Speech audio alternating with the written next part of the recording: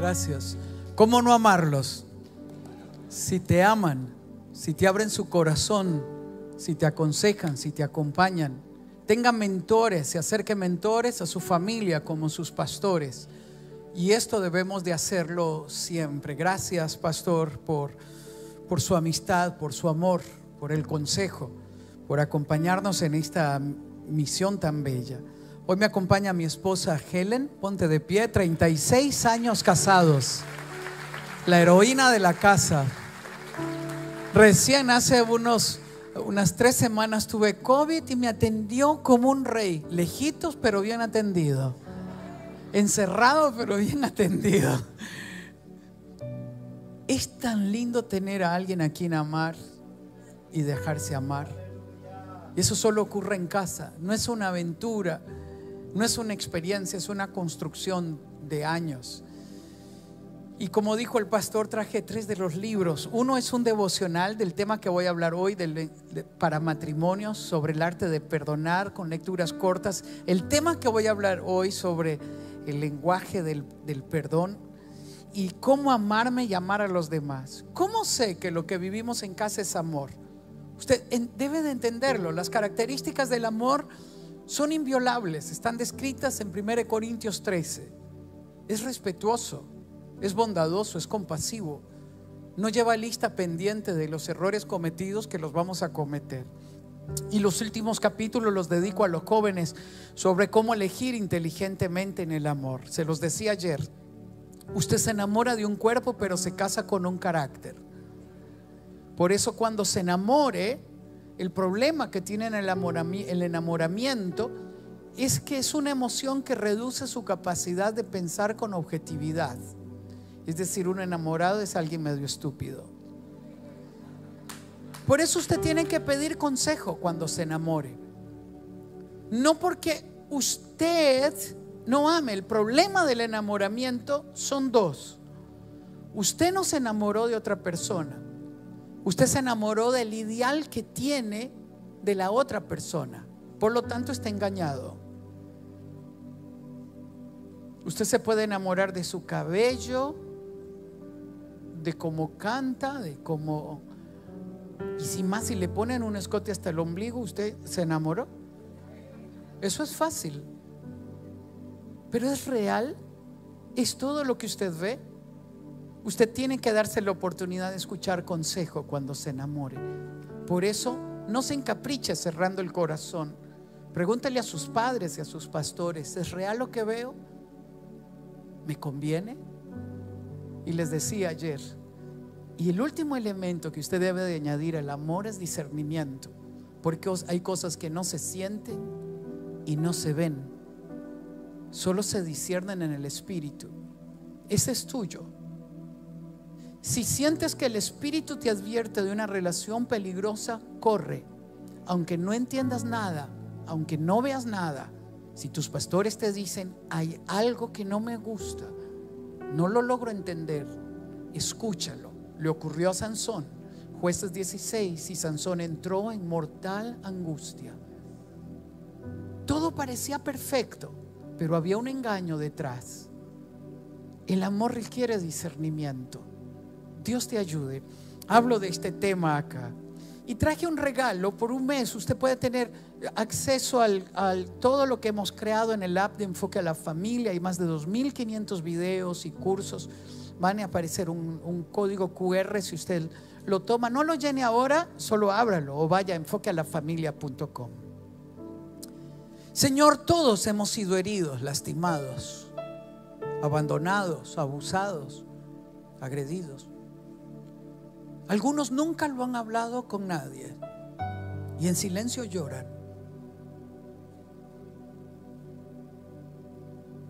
Si yo dejo que la amargura tome mi corazón, mi capacidad de amar se reduce porque no quiero volver a ser herido.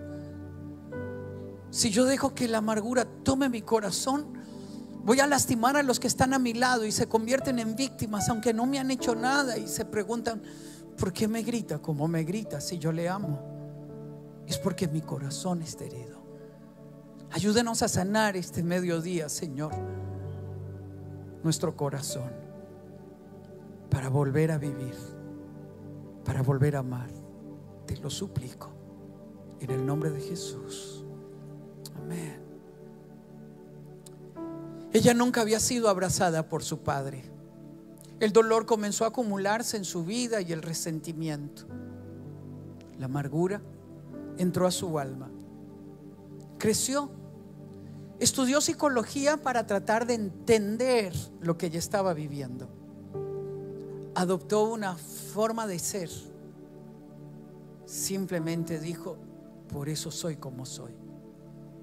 Pero Dios estuvo ahí. En medio de su dolor, en medio de su soledad y conociendo más allá de lo que ella podía conocer, llorando con ella. Y un día, un día, cuando ella ya tenía como 30 años, siendo toda una profesional, una adulta, me invitó a esa ciudad a dar una conferencia. Ella y su colega me llevan a almorzar, a tomar un café. De repente entra un matrimonio con una niña como entre 4 y 5 años tal vez. Ellos me reconocen, me saludan a lo lejos, me levantan la mano, me sonríen, yo les sonrío. Yo no sé quiénes son. Nunca nos hemos saludado. Sientan la niña en la silla alta y de repente la niña pide que la bajen de la silla. Y está como a 10 metros de donde yo estoy. Ella se acerca a donde estamos nosotros tres tomando café. Me mira, sonríe, me extiende las manos y audiblemente me dice, te amo. Yo quedo desmayado. Yo digo, esto es amor a primera vista. Dios mío. Es como si el cielo hubiese descendido a abrazarme. Yo lo interpreté que era un mensaje de Dios para mí. De esas formas donde Dios te dice, te amo en silencio. Pero no era conmigo. Él conocía el dolor de quien me había invitado. La soledad de quien me había invitado.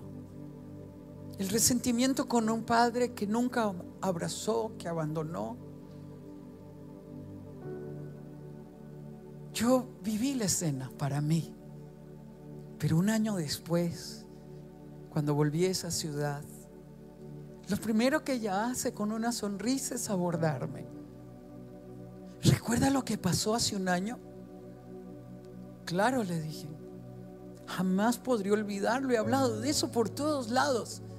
¿Recuerda la niña que vino y lo abrazó, a usted? Pues claro. Y abrió su corazón. Yo nunca he sido abrazada por mi papá. Yo fui abandonada por mi papá. Por eso soy como soy, dijo.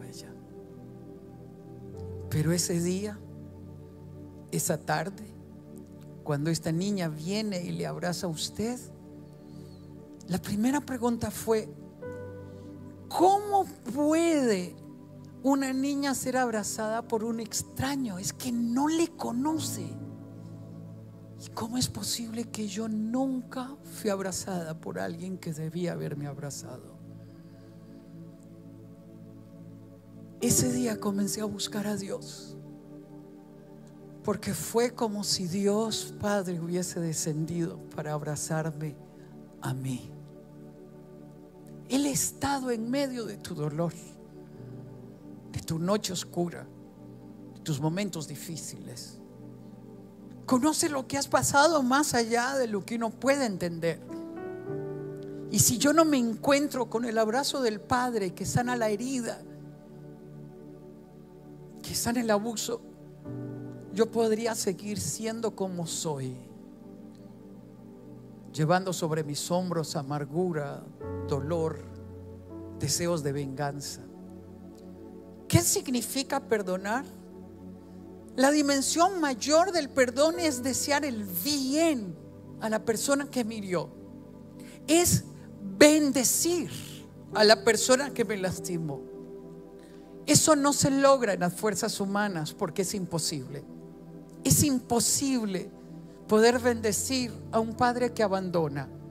Es imposible poder bendecir a una persona que abusa.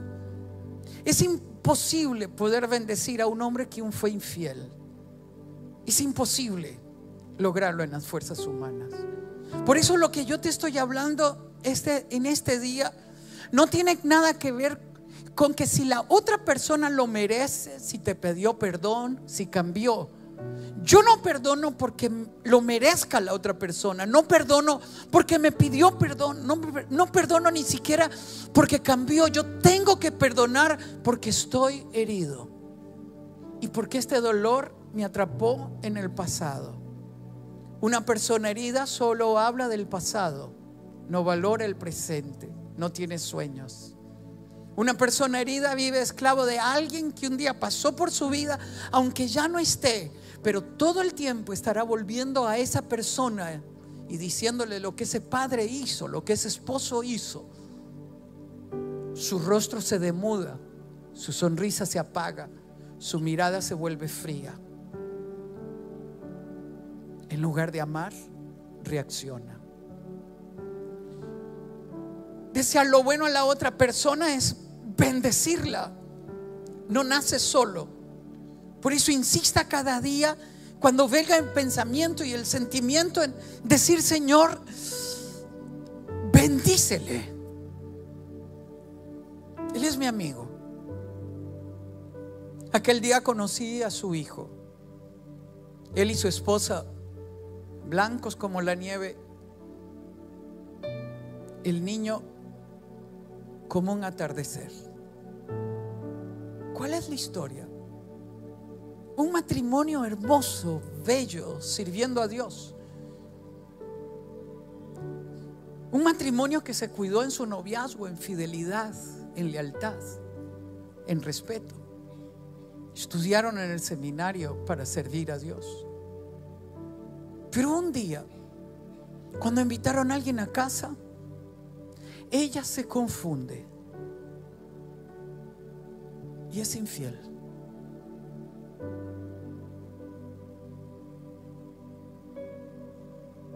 Cuando ella se entera que está embarazada, cae de rodillas, le pide perdón. Realmente estaba arrepentida, él no entiende. El dolor crece en el corazón. ¿Cómo se perdona una infidelidad? Qué duro. ¿Cómo entiendo una infidelidad si he sido fiel, si te respeté, si te amé, si te cuidé? Lo que él hace es correr al lugar correcto. ¿A dónde? A su pastor. Porque hay dolores que no se pueden razonar, es que no tienen lógica. Hay dolores que no se pueden justificar, es que no se pueden justificar. ¿Qué hago? Dos hijas, dos adolescentes, ¿qué hago? ¿Qué hago, Dios mío? Viene donde su pastor, su pastor le escucha y solo le dice dos cosas. ámala y pídele perdón. Él dijo, me fui al estacionamiento a odiar a ese hombre. Pedirle perdón yo, ¿de qué? Ámala y pídele perdón. Grité, dijo él. Golpeé el, golpeé el auto el dolor necesitaba salir. El dolor necesitaba expresarse. Yo no perdono si oculto mi dolor. Yo tengo que perdonar porque soy consciente que hay algo dentro de mí que me carcome todo. Me lo robó todo. Me lo quitó todo. ¿Qué sigue? Tienes dos caminos o amargas tu vida y alimentas el deseo de venganza, justificándolo en hay que hacer justicia, hasta te vuelves bíblico diciendo, Señor, devuélvele multiplicado todo lo que ha hecho. es el otro camino. No en mis fuerzas, no es un sentimiento, es un acto de obediencia. Ámala. Dijo mi amigo, volví a casa. Lloré, reclamé, grité, volví a casa. Caí de rodillas a sus pies. Con lágrimas. Yo, dijo él, le pedí perdón por haberla descuidado, por no haber, estado ahí. No es un momento de justificarme. No es un momento de pedirte cuentas porque ni la otra persona puede explicarlo. ¿Cómo se explica? Lloré a sus pies y terminé diciéndole, dijo él, y si tú quieres, y si tú quieres, ese será mi hijo. Es imposible hacerlo en las fuerzas humanas. Y cuando él cuenta su historia, el hijo se llama igual que el Padre, porque Él es mi Hijo.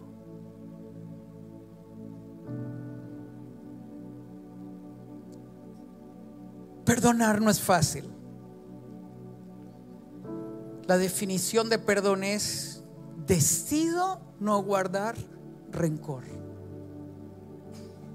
No porque tú lo merezcas no porque el otro lo merezca, no porque me haya pedido perdón, no porque haya cambiado. Es que 1 Corintios 13:5 dice, el amor no guarda rencor. Si tú guardas rencor, enfermas tu alma, te lastimas a ti mismo.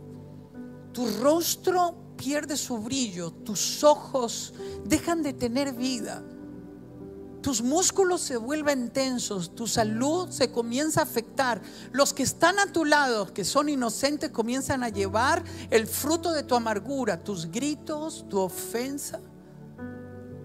Hoy no puede pasar este día. Si tú estás viviendo un dolor de esta naturaleza que te ha demudado el rostro y te ha llenado de amargura, hoy Tienes que entregárselo a Dios y decirle, Señor, yo sé que debo tomar una decisión. ¿Qué es perdonar? Escúchalo bien. Es negarse a castigar.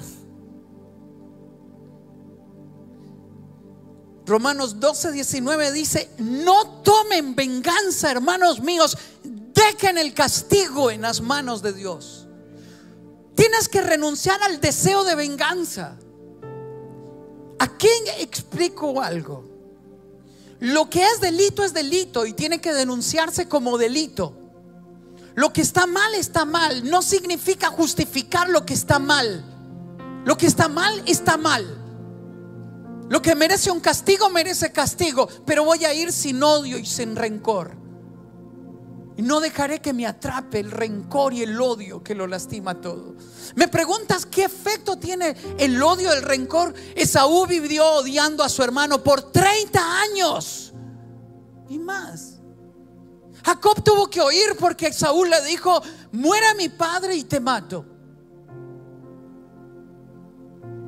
Porque lo engañó, claro que lo engañó para que 30 años después, cuando Esaú viene lleno de furia, de rencor, con su ejército a matar a su hermano, su corazón es quebrado porque su hermano se humilla y le pide perdón. Y al final terminan abrazados y llorando. La pregunta que surge es, ¿valió la pena 30 años de distancia? Y esa es la pregunta que tienes que hacerte.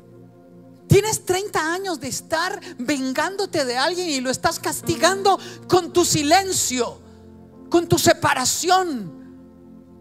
Para que sepa que estuvo mal. Claro que está mal. No te toca a ti hacer justicia. Tienes que rendirlo a las manos de Dios. No te toca a ti difamar, lo que todos sepan, lo que no te toca difamar. Te toca llevarlo delante de Dios No insista en el castigo. Observe lo que dice Mateo 5, 7. Dichosos los compasivos, escúchalo. Dichosos, felices doblemente los compasivos, porque serán tratados con compasión. Compasión no es justicia. Perdonar no es justo. Usted dice, pero no es que no es justo perdonar. No, no es justo. Tampoco se siente perdonar. Tienes que decidir perdonar. Claro que hay que gritar. Claro que al principio no sale nada. Usted tiene deseo, Señor, que pase la locomotora, se le quede en medio del auto y aplástalo. Y si eso ocurriera, la pregunta que surge, ¿se sana tu corazón?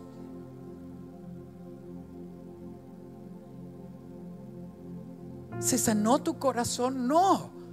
Observa lo que dice Proverbios 11, 17. El que es bondadoso, bueno, se beneficia a sí mismo. Escucha lo que ocurre. ¿Por qué muchas cosas se detienen? El que es cruel a sí mismo se perjudica. ¿Cómo vivo el perdón? Reconozca que ha sido herido. Aléjese de la gente envenenada que alimenta el rencor que usted lleva. Si usted va donde ellos, lo único que hará es hacer crecer el dolor. Busque a Dios. Reconozca que está herido. A mí me duele el abandono. Me duele el maltrato, me duele la traición. No es fácil. En una ocasión ayudamos a alguien por 10 años le dimos trabajo, le ayudamos y un día nos demanda porque fue corregido. Juicios, abogados, dinero. Y en la noche viene esa pensadera. ¿Por qué, Dios mío? ¿Quién me mete a hacer esto? Mejor. Y ahí uno comienza. Y oigo una voz que me dice, suave, ¿quieres dormir? Pues claro, bendícelo. Al desgraciado Señor.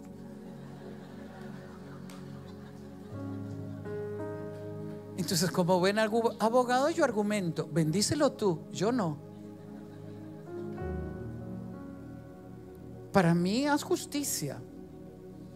Y otra vez la voz suave, sin alterarse, y es tuyo. ¿Quieres dormir? ¿Quieres recobrar la paz? ¿Quieres recobrar tu capacidad de amar? Bendícelo. Te lo advierto. Al principio no sale nada. Uno solo quiere justicia.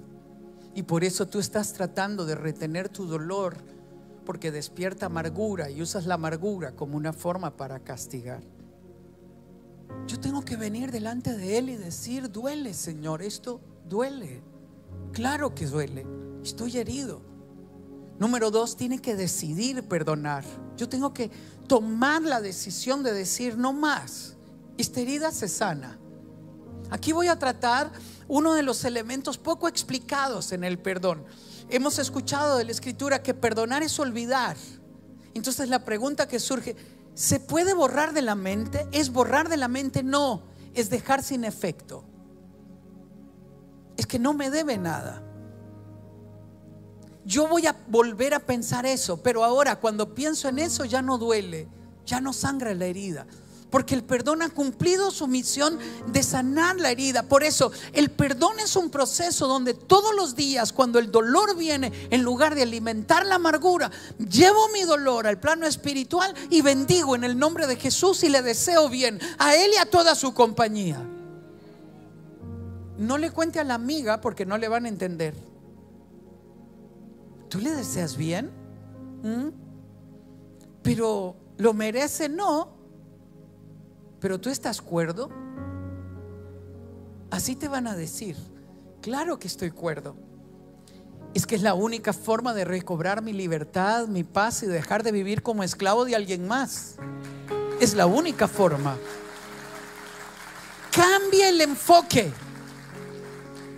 Escúcheme, no espere que se disculpen para perdonar. Perdone usted lo más pronto posible. Cuatro, crea que lo logrará. Yo vi a mi mamá, contar la historia de su infancia. Hija de un amante, abandonada por su mamá, abusada desde niña, madre adolescente. Y lo vi contar la misma historia con lágrimas que pesaban. Pero cuando Cristo vino a su corazón, de repente ella contaba la misma historia y un día fuimos conscientes de que casi parecía la historia de alguien más, porque ya la herida había sanado. Tanto fue así el efecto en nuestras vidas que cuando mamá muere, mi hermano mayor, mi hermano menor, que es muy emocional, de repente hizo una reflexión. Qué extraño, dijo él. ¿Cómo es que nosotros, conociendo a tantas personas que le hicieron mal a mamá, qué extraño? ¿Cómo es que conocen, conociendo todo eso, no podemos odiar? Y entonces yo me di cuenta que mi mamá se paró para cortar la herencia de dolor que había lastimado la generación anterior. Yo estoy aquí porque mi mamá decidió no vivir como víctima de los errores de los demás. Yo estoy aquí porque ella decidió que el dolor que ella vivió no alcanzaría a la siguiente generación. Tienes que lograrlo. Termino una conferencia y en la segunda fila una dama en el tiempo de preguntas dice, yo vengo de una familia disfuncional. Mi esposo nos dejó por otra. Y me pregunto si mi hija querrá algún día casarse. Cuando lo cuenta, llora. Su primera conclusión, yo vengo de una familia disfuncional, está mal planteada. Porque mi familia no es funcional o disfuncional dependiendo de los que vivan en casa. Mi familia es funcional o disfuncional dependiendo de si hay dolor o no hay dolor. Usted puede venir de un divorcio. Pero si usted soltó las amarras, perdonó a quien se fue, liberó su corazón, su hija crece con la ilusión de casarse porque su corazón está sano y su familia dejó de ser disfuncional para ser una familia que funciona porque hay perdón, porque hay amor, porque hay ternura. No se equivoque. Los errores del pasado no te definen y no tienes que lucir como si fuese alguien que vive en un estado de vergüenza. Él es, el, Él es capaz de ponernos de pie y abrazarnos. Me encanta la Biblia cuando habla de María, la hermana de Lázaro. Y deja que la imaginación se levante. Lázaro, cuando el amigo de Jesús, dice María, la que derramó el frasco de perfume a los pies. ¿Dónde vino la amistad de aquella mujer con vergüenza? Y cuando se acercó a Jesús encontró perdón, restauración a tal punto que se convirtieron en los mejores amigos. Deja que Él te ponga de pie. Que Él te permita vivir esa restauración. Decida ser libre del dolor que le lastima, que le cautiva, que le cierra la llave a su corazón. ¿Cómo lo logro? Recibiendo perdón esta mamá en un programa de televisión en vivo dice, ¿por qué yo no puedo abrazar a mi hija mayor? ¿Por qué me cuesta? ¿Por qué la rechazo cuando se acerca y puedo abrazar libremente a mis hijas menores? ¿Por qué? Me imaginaba el dolor de aquella niña que cuando quiere acercarse encuentra el rechazo. Señora, ¿en qué momento nace su hija? Bueno, yo era una adolescente y mi novio y yo, usted sabe, quedé embarazada. Él me dejó cuando quedé embarazada y comienza a llorar.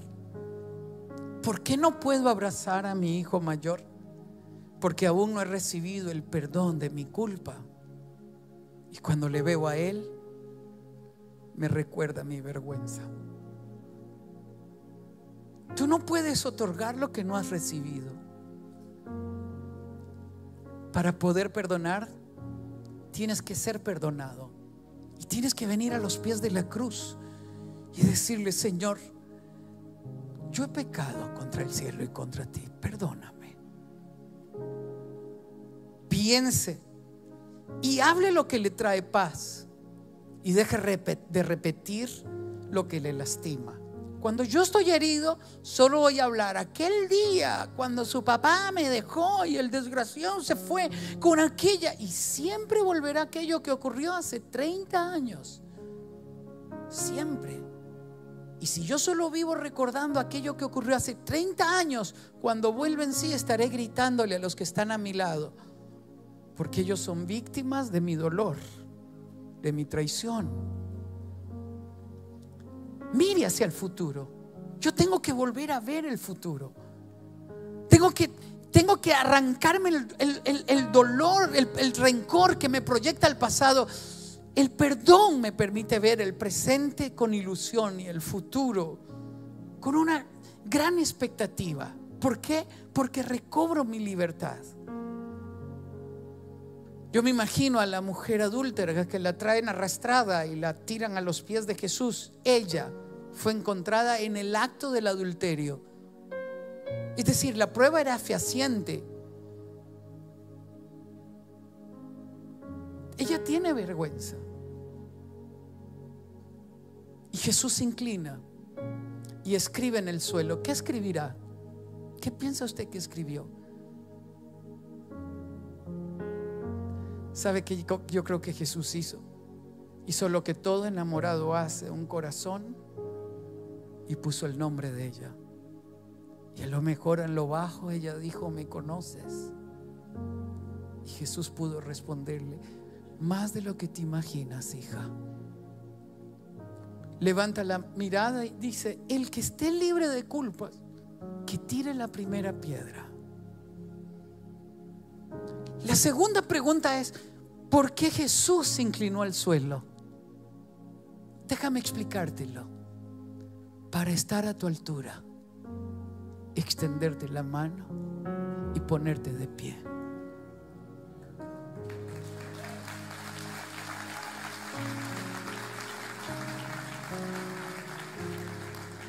no vino a condenarnos, Él vino a salvarnos.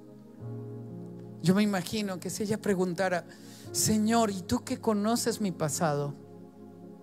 ¿Y tú que conoces mis errores?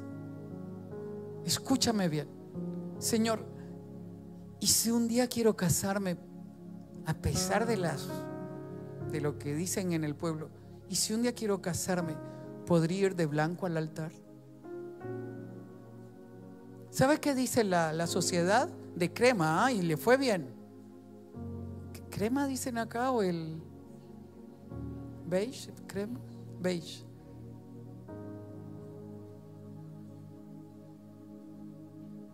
Y Jesús dice,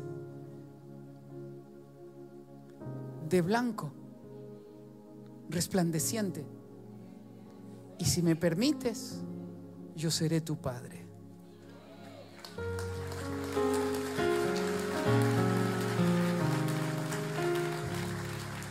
Porque a partir de ahora no serás conocido por lo que un día hiciste. A partir de ahora serás llamada mi hija, mi bien amada. Serás conocida y conocido como mi hijo. Ahora te toca amar de la misma manera en que has sido amado. Puestos de pie. No significa un sentimiento intenso, significa orar por la otra persona. Este chico de 18 años en Argentina corrió donde estaba luego de que prediqué y dice, lo logré, lo logré. Su sonrisa lo decía todo, lo logré. Cuéntame, hijo. Él se fue cuando yo tenía 5 años, casi nunca me escribe, no se ha sido, no ha hecho, se ha hecho cargo de mí. He reclamado mil veces por qué no me llama cuando cumplo años. Este día le mandé un mensaje y le dije, papá, te amo, te perdono. Papá, no me debes nada. Entonces yo quiero ir más allá y pregunto, ¿te contestó? Y él dijo, no. Y no importa si no contesta. Ahora yo soy libre.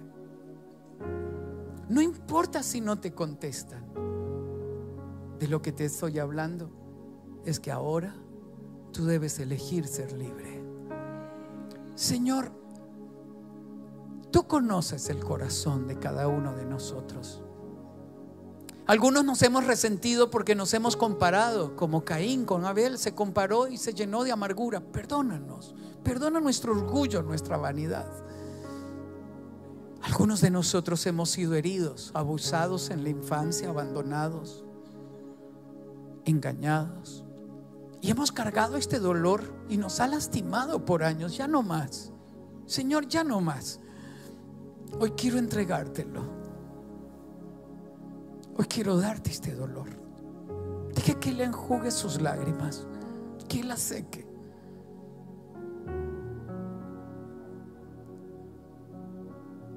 Dile que duele, claro que duele.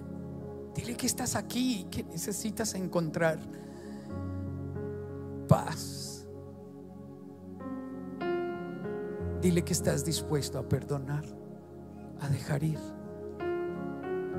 Aunque yo no lo entienda, Señor, aunque no pareciera lógico, elegimos bendecir al Padre ausente, al esposo que se fue, al socio que nos traicionó, al hermano que nos abusó. Yo elijo bendecir. Bendecir a quien me ha deseado el mal. Yo le deseo el bien. Lo bendigo en tu nombre, Jesús. No es fácil.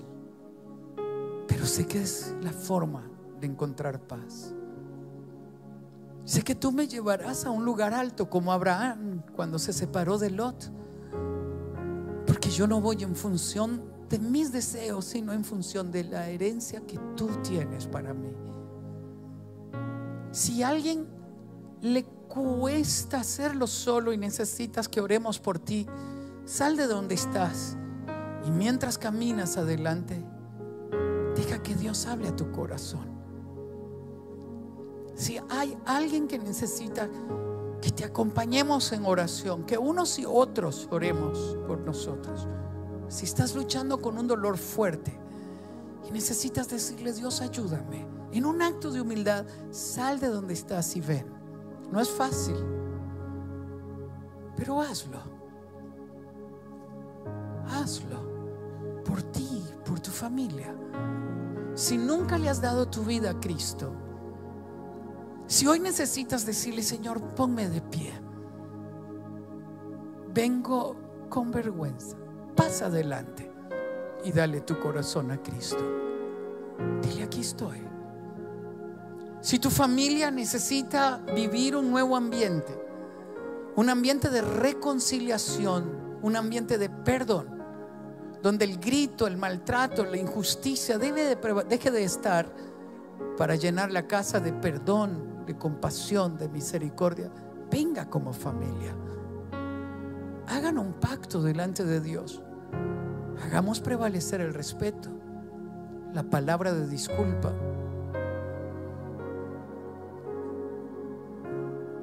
Y si hay alguien a quien debes pedir perdón, no digas nada solo abraza. Pasa. Pasa. Lucha por tu libertad. Pelea tu libertad. Pelea tu paz. Pelea tu paz. Pelea tu libertad. Deja de vivir en el pasado. Deja de vivir como esclavo de alguien que te provocó dolor. Entrégalo, bendícele. Suéltalo. Si quieres llorar, llora, llora, está bien, es legítimo, es válido. Y dile, Señor, aquí está mi dolor. No puedo solo. Dáselo a Él. Si alguien más necesita pasar, si necesitas perdonar al Padre que se fue, si te robó tu libertad, tu paz, entrégalo, bendícelo. Renuncia, renuncia a esto que ha contaminado y lastimado tu alma. Entrégalo. Entrégalo. Si hay alguien más que necesita pasar, pasa. Dile, aquí estoy, Dios. Te lo doy a ti. En estos días alguien me decía, qué dolor es pensar que cuando era niña me vendieron como esclava, decía ella. Abusaban de mí. ¿Cómo se suelta eso? Uy, aún los dolores más extremos que uno no puede racionalizar o entender. Yo tengo que comenzar a entregarlo en las manos de Dios y dejar que Él sobrenaturalmente ponga una paz que sobrepasa todo entendimiento. Recíbelo. Recibe esa paz que no es lógica, no es racional. Deja que Él te cubra con un manto de amor que sana la herida más profunda o el recuerdo más cruel. Te bendigo en el nombre de Jesús. Pido a Él que Él renueve tus fuerzas. Que Él te levante vestida y vestido de blanco con una dignidad nueva. Con un valor que jamás imaginaste. Con una paz que jamás imaginaste. Te bendigo en el nombre de Jesús. Si tu familia está contigo, abrázala. Haz un pacto de respeto entre ustedes. Y en este acto, en este apretar de manos, pide perdón. Deja atrás lo que un día fue un error que les lastimó, que les ha distanciado. Ya no más. Ya no más. Te bendigo en el nombre de Jesús. Si nunca le has dado tu vida a Cristo, dile este mediodía, Señor, te entrego mi corazón y mi vida. Ahí donde tú estás, en tu hotel, en tu habitación, donde tú estés viendo esto, te bendigo. Llora delante de Él y entrégale tu corazón y dile, Señor, aquí está mi vida. Te lo doy todo. Y en tu nombre perdono a quien me hirió, a quien me lastimó, a quien me engañó, a quien no cumplió. Lo perdono en tu nombre, Jesús. No viviré como esclavo del dolor. Hoy me levanto en la libertad que tú me das. Te bendigo, Padre. Bendice cada familia aquí representada. Danos la humildad de pedir perdón cuando nos equivoquemos.